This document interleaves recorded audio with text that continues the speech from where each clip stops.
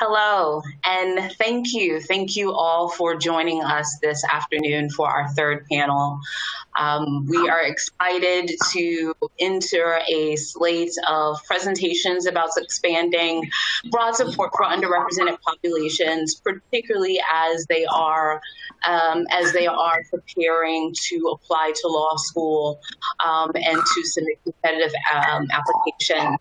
And so without further ado, to make sure that our panelists have enough time to present, um, I will have uh, at the top each of our panelists introduce themselves, tell us about um, of course, as um, your institution and where you are broadcasting from today. Um, so let's start off with Jessica, and then after that, each of our panelists can introduce themselves, and then we'll prepare for your presentations. Hi, my name is Jess Finley. I'm at the University of Arizona, and currently I am in Dallas, Texas. Great. Hi, everybody. My name is Elaine Chiu, and I'm a member of the faculty at the law school at St. John's University in Queens, New York. And I'm also a director of the Ron Brown Center and Prep Program, and I'm broadcasting from Westchester, New York.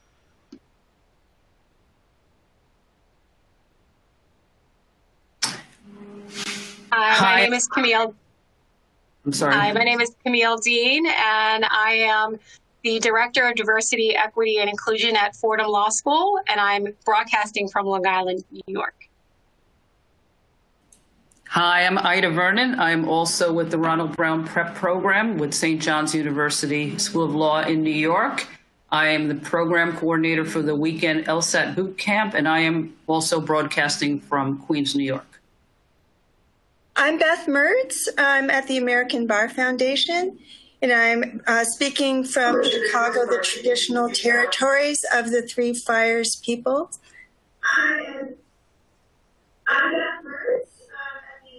Thank you. Thank you, everyone, for introducing yourselves. Um, and so the way this will work is our presenters will um, present a little bit about their programs and their outcomes, um, and then it'll be followed by some comments or questions from myself, and then we'll move to audience comments. So while they are presenting, the beauty of this is that in real time you can present your questions for them to answer at the end. So please pose your questions there. But we'll get started off with Jessica. Thank you. Um, and then I'm kind of new to this, so I just control the. Can y'all see my PowerPoint? Okay, awesome. um, so my program uh, is the Latina program. It is a program geared at supporting Latinas in our BA in Law program, which is an undergraduate law school um, uh, law degree. Um, so we focused on Latina, Latinas in particular, because they are um, underrepresented in the law, as you can see. Um, in addition, we also have some current pipelines, oops, at the university that um, my uh, so one is the BA in Law program, and it is remarkably diverse compared to a traditional JD program approximately 25% of the students in the BA in Law program are Latina. So that serves as one pipeline. In addition, U Arizona was designated a Hispanic serving institution in 2018, and that serves as another pipeline. So we wanted to capitalize on the success of these current pipelines by offering another pipeline um, through the Latina program. And uh, I, I, know there's a lot of words on this slide, but I'll just summarize briefly. We were um, inspired by research on STEM education at, SS, um, at HSIs, which um, indicated that mentoring and advising were critical pieces to supporting um, Latinas in achieving higher education. Um, so we incorporated those into this program. In addition, uh, another way we worked with the community was I created a committee, a small committee with Latina lawyers, and, and we did some outreach through surveys and, um, and discussion to find out what types of um, education would have been helpful for for them in achieving their law degree. If they, it, you know, what resources they would have wanted to have had as um, as students deciding to go to law school. And so we incorporated those into this program. The objective of the program was to conduct a randomized experiment uh, of, of the pilot to see if it was successful. Um, we looked at the population from the Latinas in the BA in Law program. Uh, the students needed to have at least a 2.75 GPA, and we took um, all classmen but freshmen. Um, we randomly assigned, uh, that left about 100, and then we randomly assigned uh, 50 to an experimental group and 50 to a treatment group um, using an intent to treat design. Um, in this time, um, so we randomly recruited, randomly assigned, and then we um, extensively recruited for the 50 in the experimental group. We ended up with 18 students. Um, 20 students uh, initially enrolled in the course out of the 50 invited, um, but two did not complete. We did a lot of recruitment using um, emails, postcards, and phone calls and texts. Um, so we initially sent uh, several multiple emails um, asking students to en enroll in the program.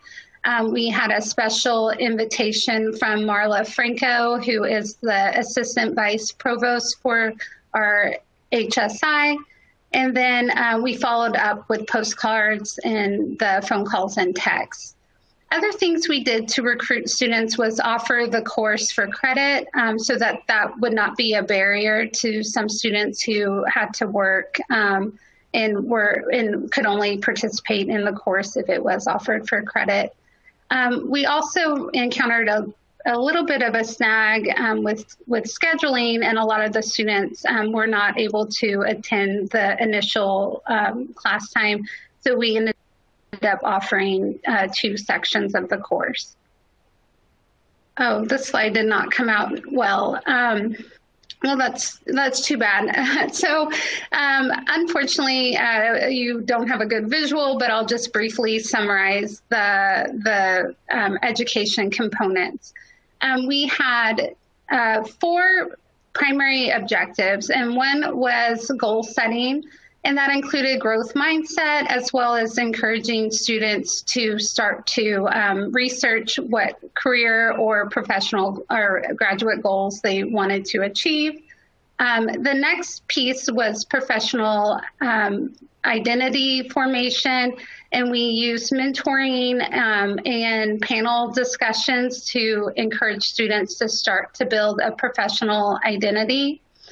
Um, we then focused on wellness, and wellness included both um, stress management as well as financial well wellness and um, culture and um, diversity and inclusion as a piece of, of this component. And then um, let me just refer to my notes real quick because I'm drawing a brief blank on the last one. Um, Oh, and application. So applications was a critical piece, and that included um, having um, like learning what materials they needed to have, um, how to navigate the application process to law school, and it included a test component, and we were all uh, able to provide through AccessLex funding um, access to a GRE or LSAT prep course um, as part of the course, and that was at no cost to the students. Um, we had wonderful luck recruiting our mentors using that um, the the you know the little small committee I created. Um, we were able to get a lot of outreach and had many um, many people willing to participate as as mentors. Um, so we were able to do one-to-one mentoring. So each mentor had one mentee. Um, the women that volunteered to be mentors were all women of color and they all had diverse careers. Um, we had three judges participate as well as lawyers and academics in the community. And I also want to highlight that they all received training on the how to be a good mentor as part of this um, uh, as part of this work in recruiting. Um, we wanted them to receive training on motivational interviewing and goal setting, as well as um, help with, help them with communication and defining the roles and expectations in their mentor-mentee relationship. So we have some positive results that I'd like to share. Um, we ended up needing to use propensity score matching, which basically um, has our Latina participants and then a comparable group of uh, peer comparison group, which you can see in column in the second column here. Um, so the Latinas, um, I just want to highlight uh, how they are similar. So for both groups were all women, all um, Hispanic ethnicity, and they were largely BA and law students. Um, and then you, you, I, I think the slides will be made available, so you should be able to look more closely at the other similarities. Um, we were not able to recruit to the extent we wanted to, so we are um, uh, so it is, so we were not able to run the analysis we wanted to, but we did still see positive results. Um, so here, just to highlight, um, when we asked students about their interest in pursuing a career as an attorney, 94% um, of Latinas said they were interested in pursuing a career as an attorney versus 72% of their peers. And we see this um, further demonstrated when asked about their other professional interests in law related um, professions. Um, again, just to highlight government, 67% of Latinas were interested in a career in government, government just uh, versus 44% of their peers. We also asked um, Latinas and their peers about steps they'd taken for towards law school, and we see that um, many more of the Latinas had um, taken steps towards law school compared to their peers. Um, again, I'd just like to highlight the column in the middle that 61% of the Latinas had enrolled in a prep course um, versus 22% of their peers um, and that 100% of the Latinas had uh, talked to a lawyer versus 72% of their peers. Um, and then in terms of the materials and their preparation um, in, in that regard, we also see that um, Latinas had were further along in completing materials. Um, again, 94% had completed their resume versus 61% of their peers. Um, and resources that helped the students were, were mentoring, which was a critical piece of the program. Um, and 94% of the Latinas indicated that mentoring was helpful for them um, versus none of the peer group indicated mentoring. And I think, I think I'm out of time, so. Yeah. Did you want to? Yeah.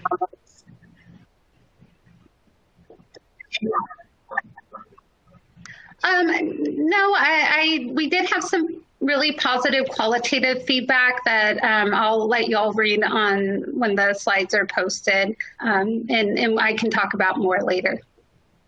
Wonderful. Thank you, Jess. Um, now we will move on to our group from the Ron Brown Prep Program.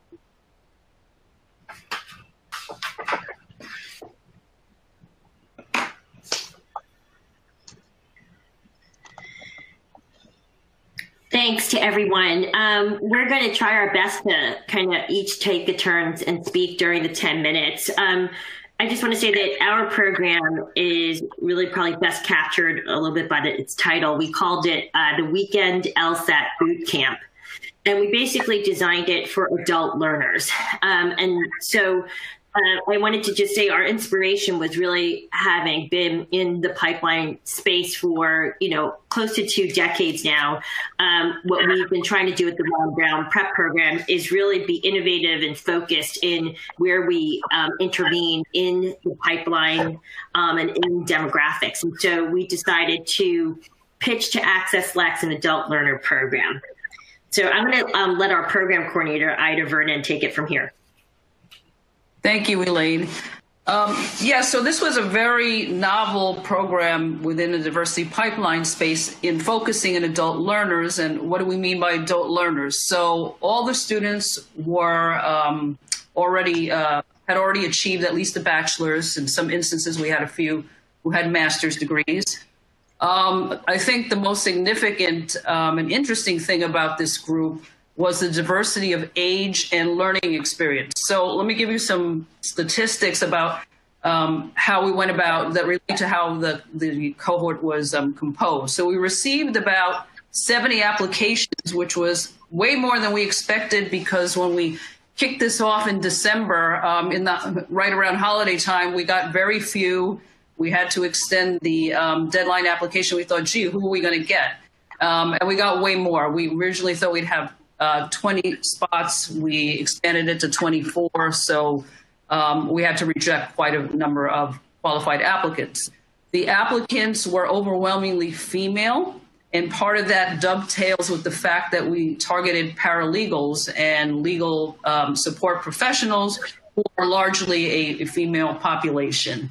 Uh, we ended up with an overwhelmingly female cohort, not surprisingly, out of 24. 21 were female, three male. Uh, the age diversity ranged from 21, and uh, we did have some very recent class of 2020 uh, college graduates, 21 through 56. Uh, out of the 24 that we started out with, um, eight were over age 30, and they range from 31 to 56. So, in, in looking to compose this cohort, I, I, was the one tasked with reviewing the applications and, and making the, um, the acceptance um, decisions. Um, we knew it was going to be challenging. Weekends are going to be challenging. People, especially for working adults who also may be juggling family responsibilities. So I was looking in their um, personal statements of interest um, for evidence of resilience, uh, determination, uh, resourcefulness, people who could handle this kind of schedule, which originally was going to be um, Saturdays, six months straight of Saturdays. I think it was 25 Saturdays. And um, I, I, think we, we, did get that ultimately. Um, out of the 24, uh, only one withdrew fairly late in the program, and that was actually an applicant in her 20s. So, you know, I, I do want to um, just really highlight that as a salient feature of this program age diversity, life experience diversity, and resilience.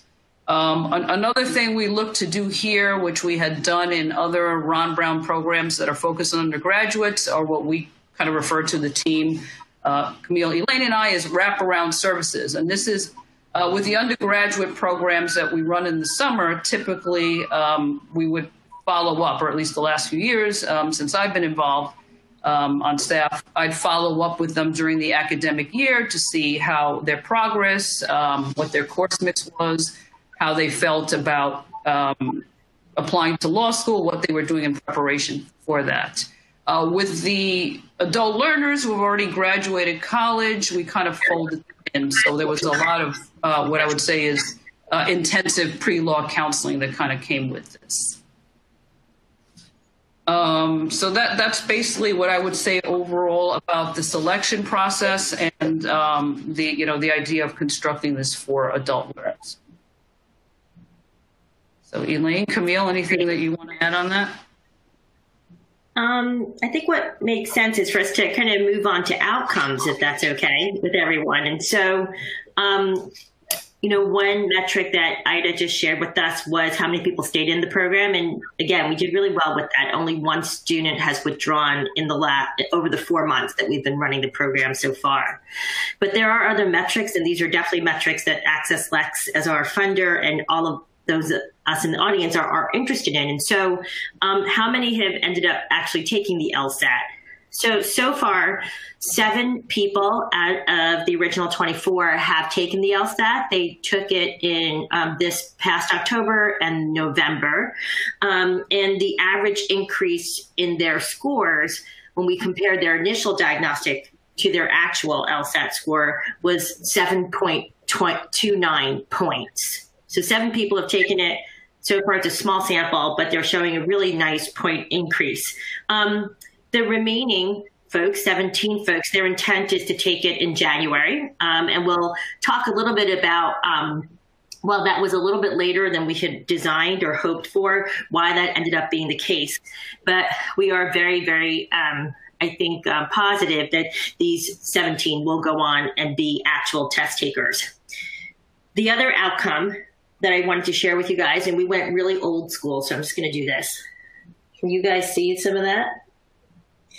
The other outcome that I wanted to focus on um, was, you know, uh, what their initial test scores were, what patterns we saw, and also what their average score increase was. And this is now looking at whether they took the actual LSAT or their highest diagnostic score with us. So far, they've taken about 10 diagnostics with us.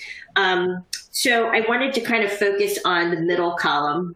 The middle column, you'll see that in uh, the top row, what you see is essentially the initial score for the entire cohort of 24. The average initial score was a 138.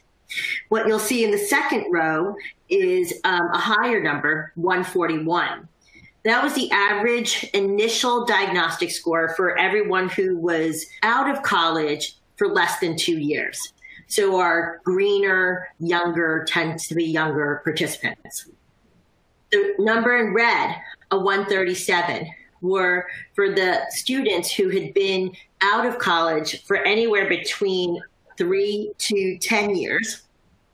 And then the final black number on the bottom row, right, a 135, was for our students who had been out of college anywhere between 11 to 26 years.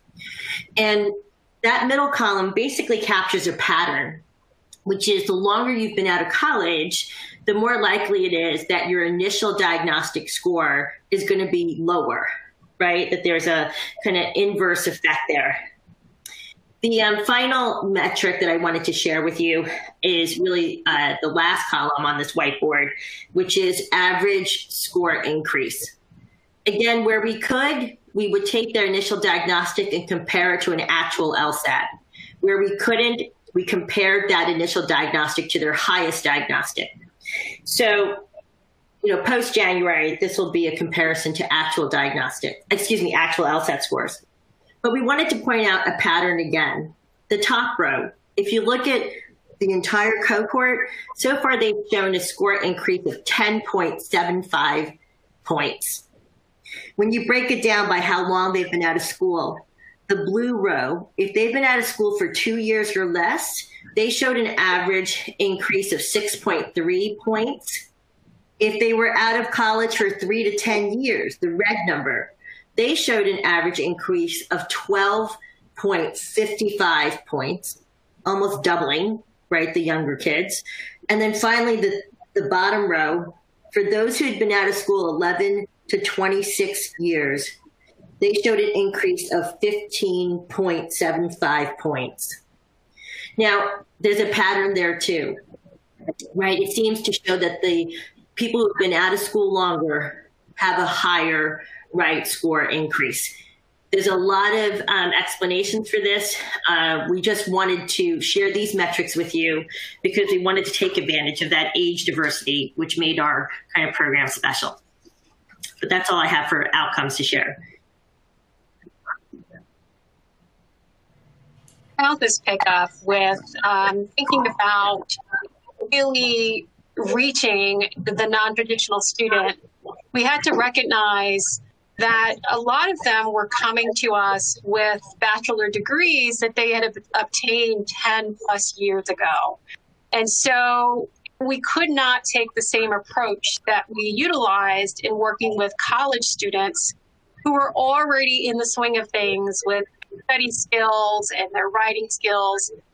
That in hindsight, we would implement a pre session course to really drill down on critical thinking skills, analytical ability, and most importantly, writing skills, because we found that those were areas that really um, did not uh, level out with where they needed to be with that first diagnostic on the LSAT.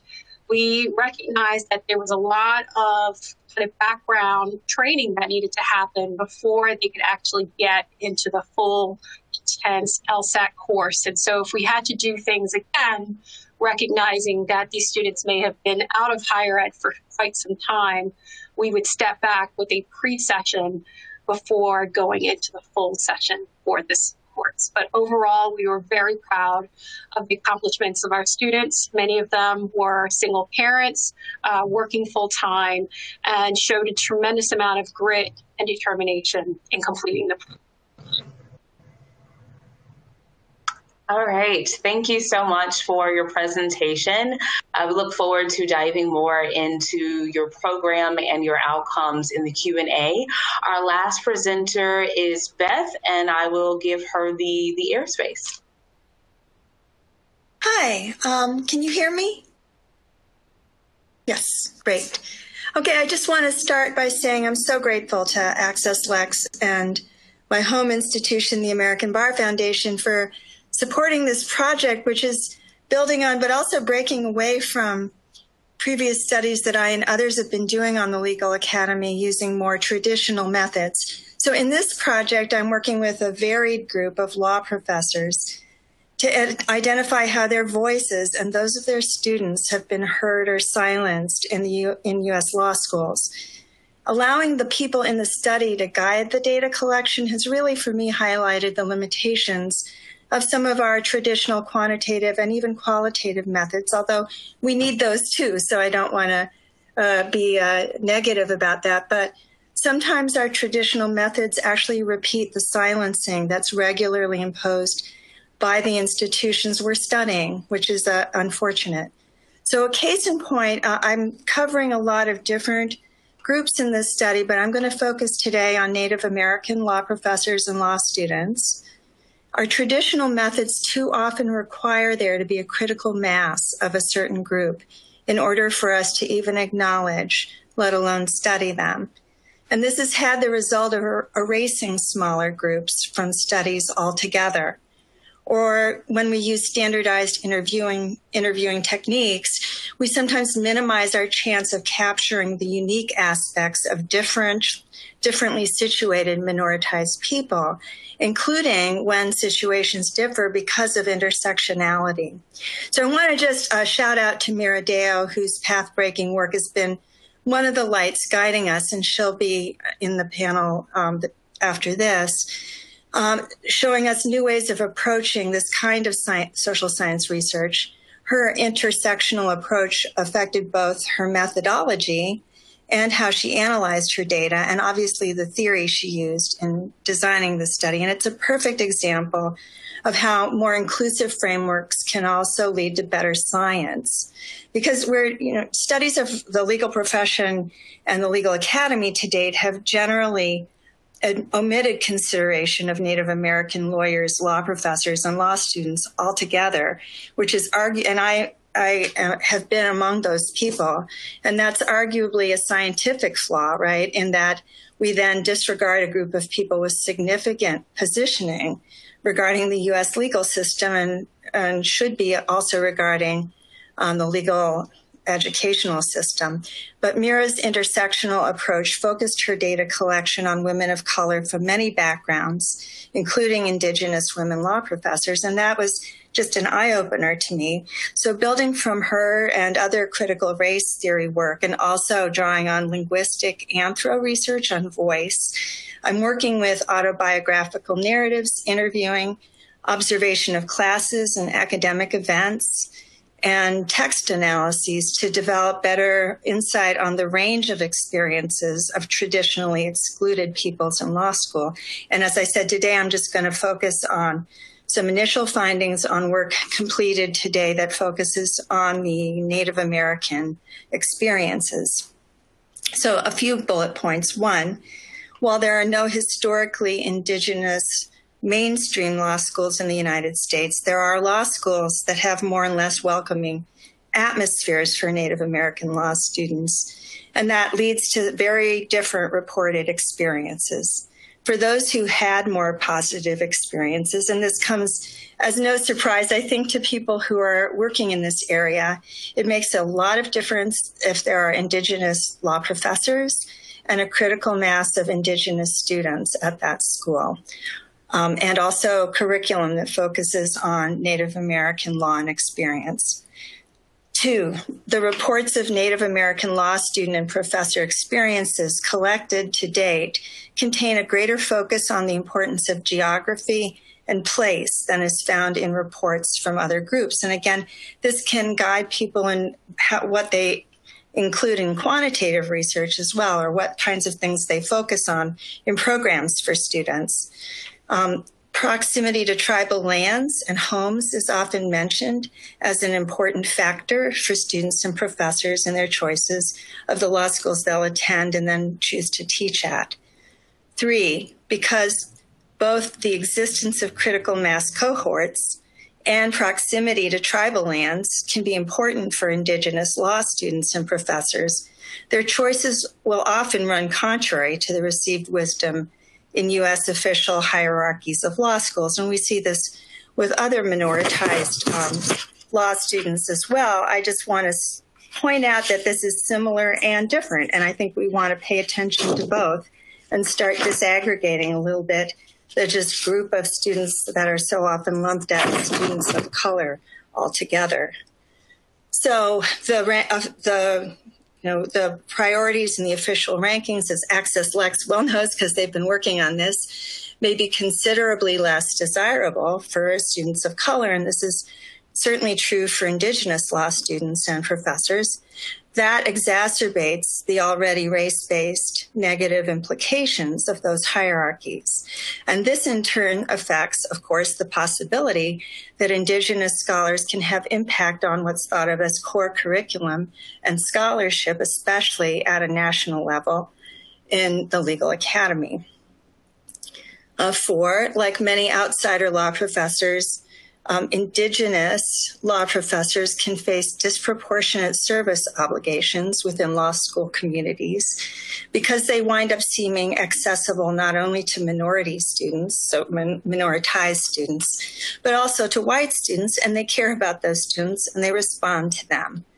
In the case of some Native American professors, there's even a further service time demand that arises because of their desire to help their own and other tribal communities in the face of severe ongoing legal needs. And the needs are, are um, very serious. So this extra service, while arguably crucial, and, and, this is a huge point to talk about, how all this unseen service work on the part of so many minoritized professors undergirds a system of credibility for law schools um, in the in the national scene is given, as we know, very little credit in terms of even local, let alone national systems of assessment and honor.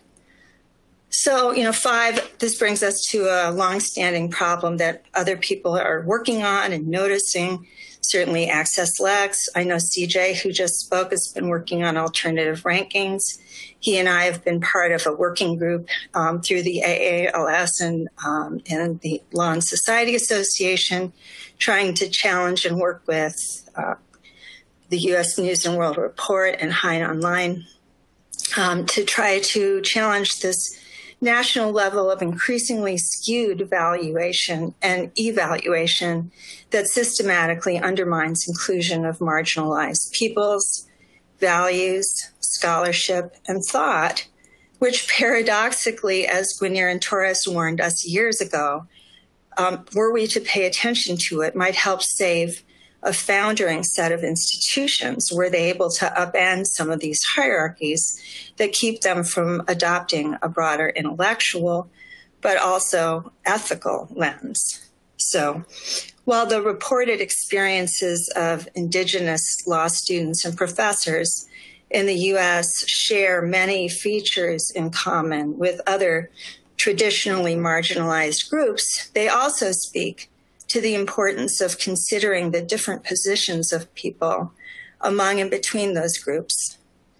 And we know that the standard approaches that we often have to adopt to get um, statistical validity um, when we lump people of color together for methodological and other reasons, we risk entrenching a white centric perspective that homogenizes all people just on the basis that they don't share white privilege. And that's a scientific as well as an ethical problem.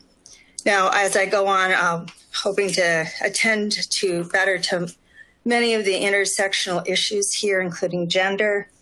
Um, our deliverables, I'll just say very quickly, include um, trying to generate ways of incorporating these um, more sensitive perspectives into collaboration with traditional quantitative and qualitative studies. Um, something that California Supreme Court Liu, um, Justice Liu has been working on from the point of view of uh, studying Asian lawyers. Um, we also want to continue to press the U.S. News and World Report and the Mainstream Academy to pay attention to these alternative ways of framing merit and to try to work against the growing entrenchment of um, this really meritless approach to hierarchy. And finally, our plan involves dissemination directly to deans and legal education policy movers and shakers um, and platforms through the AALS, the American Bar Foundation, the Law and Society Association, and the New Legal Realism Coalition to get the word out, as well as, of course, outreach to empirical critical race and critical race theory scholars. Thanks. Thank you. Thank you for uh, those comments and those very um, meaningful insights as it relates to how we evaluate and um, even um, assess um, various groups um, who would want access to, to legal education, um, higher education at large, and how even our assessments themselves may overlook certain groups. So now we are moving into our um, formal Q&A session. So if you have any additional questions, um, the audience, feel free to start putting those there. I will start off with a few of my own. Um, so the first question that I have is, I know that we um, we rushed through um, your projects, which are very detailed and complex. Um, and so to offer you uh, each more time to talk about the process of developing your program or projects, um, could you, um, in greater detail, describe um, for us how did you formulate your ideas or draft proposal for your existing projects, particularly for those who are attending who are thinking about um, developing their own programs to get at some of these issues that you've talked about. Um, and uh, additionally, did you reach out to internal or external stakeholders as you were developing your programs or research projects? Um, so feel free to to take turns going. Um, I, I, can start. Um, I, I worked closely with both internal and external stakeholders, um, and I was really grateful for both in, um, both sets of input. So initially, I reached out to um, people I knew on campus who worked in the HSI and they were able to offer me um, a lot of good guidance on how to go about developing the program and, and some good research that they had access to. Um, and then I did involve uh, community stakeholders by um, starting with like the small committee of, of Latina lawyers in the commun- in the community, and then we did do a survey of the Latina lawyers um, in the community through their contacts in order to get um, input from the community in developing the program. Um, some of the other campus resources I was able to tap into included um, reaching out to the athletic department to conduct the mentoring training um, the athletic counselors uh, at, uh, on campus were familiar with motivational interviewing and goal setting. So they were the ideal candidates um, in well in their work with athletes. Um, those come up a lot. So they were ideal candidates to conduct the mentoring training. Um, so that's that's another cross campus collaboration that I was able to use. I will just quickly say um, when we were thinking about this program through an extension of the Ron Brown prep program work that we were already doing, we were able to achieve buy-in institutionally, both at the law school but also the university. Um, it was important that we were good stewards of our community, and in doing that, we wanted to have outreach to communities that were traditionally underserved, mostly women and women of color.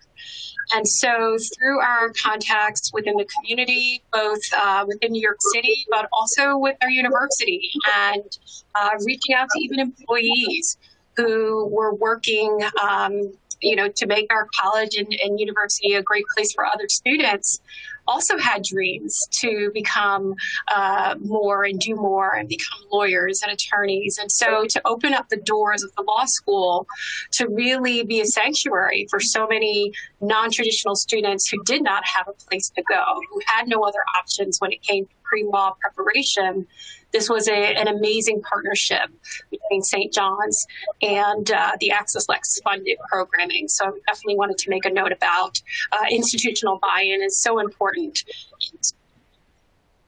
Um, I would just like to say it's been really my privilege to work with this group of remarkable students, particularly women, women of color, um, who have had some really inspiring um, life stories that I've been very moved by. I mean, we, when I talked about age, that did not entirely reflect um, their journeys to get to even college. We have a 50 year old student who just graduated college this year. And uh, I wish I had time to tell more of her story, but uh, there's not the, the forum. But uh, that's just to give you an example of the caliber of individual who would apply for this kind of program and aspires relatively later in life to a career in the law. I would add that uh, creating streams of information that go directly from the voices of mi- minoritized students and professors into our collective planning and into the mainstream of uh, the legal decision making in law schools that deans and other people have access to would be important because um, even published accounts are full of stories like um, you know we were just hearing about of, of resilience and incredible fortitude in uh, getting through law school and getting to the ranks of law professors by minoritized um, law students. And so the information is actually out there, and we're hoping to help um, put it into a form that people can access more easily to hear more of those kinds of stories and understand them. Yeah, that is so important that, um, you know, when thinking about putting these programs together, actually hearing from the students themselves, those that you would actually be serving. Um, and I think that, um, I think Jess mentioned this as well, hearing um, what resources do they feel are lacking um, and what resources uh, would be helpful for future cohorts within the particular program that maybe were overlooked in the first iteration of the same program. Um, and so, related to this idea of um, how do you frame your program and even um, how do you engage with stakeholders? One of the audience members asked, um, particularly in response to, I think one of you had 18 participants in your program, um, what different recruiting efforts did you, um, beyond what you actually employed, what different recruiting strategies would you employ in hindsight now that you've gone through an iteration of the program? Um, that, that's hard. Um, I, I think for any research design, um, recruitment is a challenge. Um, and it, it's a little bit different when, uh, from my perspective, trying to do like a randomized uh, clinical trial for the pilot evaluation versus like just opening up to everyone. Um, I think we definitely could have had more participation using the recruitment methods that we um, implemented. but uh, trying to to keep our experimental design. Um, you know, I think what so I think what we did was actually quite successful, um, even though 18 doesn't seem like a large number. Um, but 18 out of 20 and um, having only two drop out, I think does show that that it, it was uh, successful in that students because um, for those of you less familiar with research, like uh, retention is also a huge issue in research. Um, and so having 90% of the participants complete is actually pretty exciting. Um, but I do think the, I, from my experience in other research projects, um, multiple points of contact uh, is critical. Um, as you may recall from my slides, having um, not only the emails, having someone who is uh, being kind of influential, even like a law professor, um, you know, who is Latina, or in, in my case, we used our um, the vice provost of the Hispanic um, serving institution to reach out um, in a request. I think those points of contact are also critical. Um, and then following up, we use uh, the the mail uh, with the postcard mail to them, and and then I, I did receive some follow up um, from those students who actually did not enroll, but they um, emailed or um, to tell me that they got the postcard and they um, would love to have done the program, but they couldn't for scheduling reasons. Um, so even the, even though that doesn't that seems a little antiquated in today's society, that that I did get a couple of responses, um, even from people that didn't participate.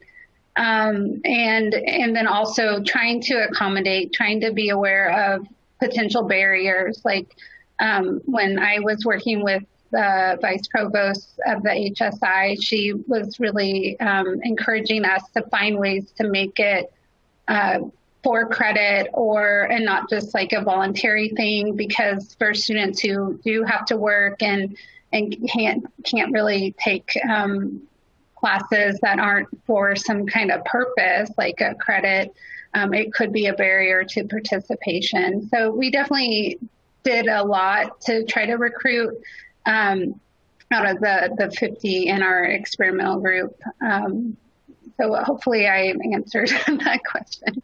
But um, I'll just say very briefly that I think recruitment is um, a different challenge depending on what you're trying to do. I think, as Jess Finley just said, hers being a clinical experimental kind of um, program, it was different.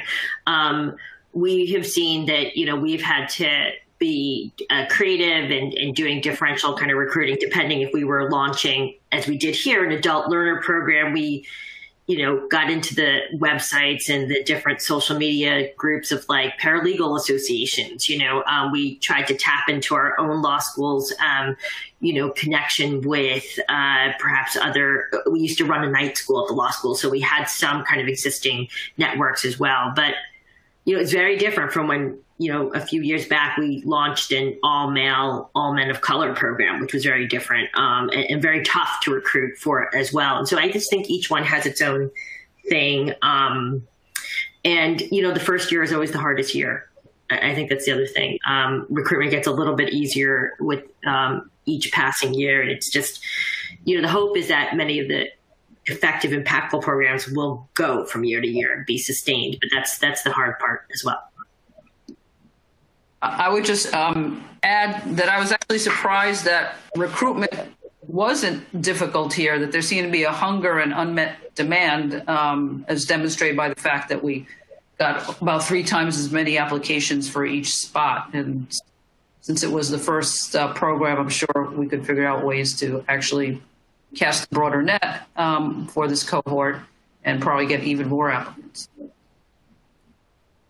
And also, I would just add, that talking about underrepresented communities, um, very oftentimes is an information gap. And so we have to do just even further outreach to ensure that we're getting through to those communities. And sometimes it's non-traditional approach. It's, you know, contacting the local colleges and universities, the local community groups to just let them know that we have this program, getting the word out um, via social media, again, with the digital divide, uh, may not accurately uh, you know, get to this group. And so it's important to have a multifaceted system of recruitment that really focuses on engaging uh, students who have traditionally been shut out of legal education.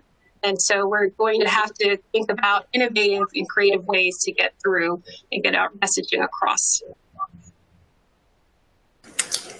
I mean, again, I um, I defer to the others on the panel, except um, on the point of recruiting for research on the sensitive issue of uh, what atmospheres are like in law schools for minoritized professors and students. And in that regard, I just say it's always been something we needed to be very careful about, but is especially so now in COVID. I have not, I have basically not observed some classes I could have observed because of my concerns about the vulnerability of uh, professors and students of color, and also an added urgency now to make sure that we're giving back um, and and uh, contacting people appropriately in a time when they're under such pressure. So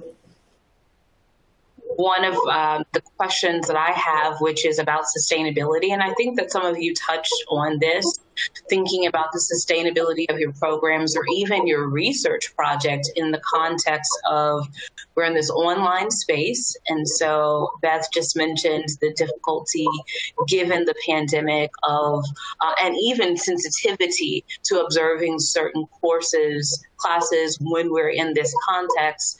Um, and so if, if each of you could speak to um, how do you anticipate sustaining your programs moving forward, um, given the context that we are in, and what sort of challenges um, have presented themselves um, when it comes to sustaining your programs, uh, particularly for those, again, who are thinking about implementing these sort of programs at their institutions?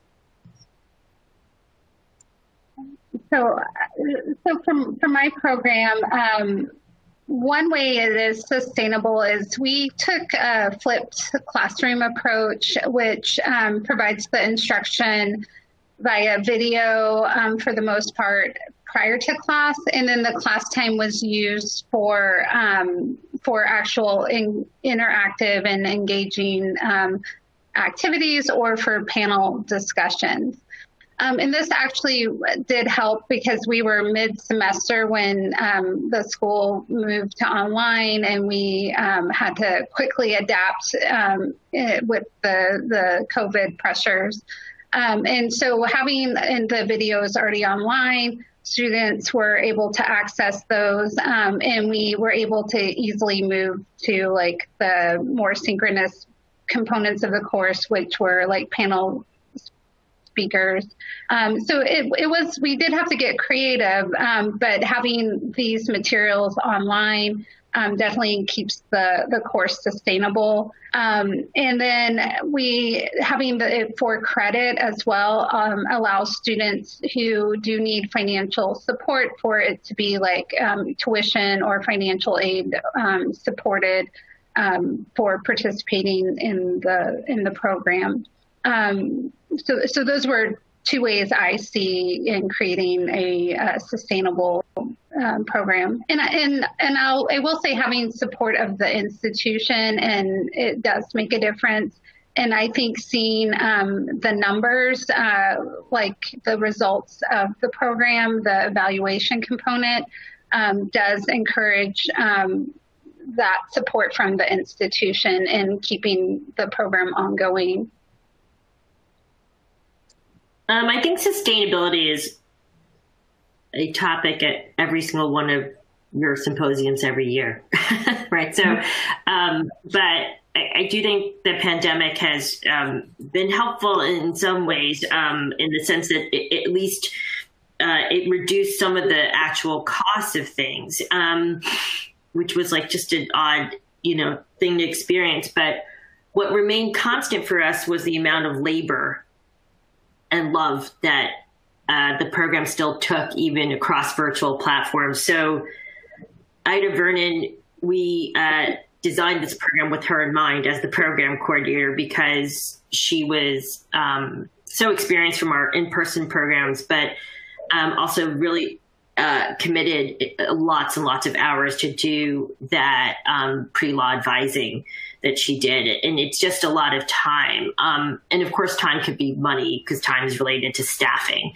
So um, I, I, think the final thing I'll share is that at least in New York City, our what I am really joyful about this year, as opposed to a year ago, is that I feel like a lot of um, other organizations are now coming into this space of um, working in the pipeline, whether it be high school students, college students. Haven't quite yet seen adult learners, but I'm hoping to be copied. Um, but so most recently, uh, we have seen the New York City Bar Association get really busy um, uh, to start a multi-year college student pipeline program and fundraising for that. And we're like, thank God, you know, um, we've been waiting for this, and they have access, right, to firms. They have access to individual attorneys in a way that we don't, um, and so we really applaud that and support that. Um, we need kind of strong umbrella organizations to do that.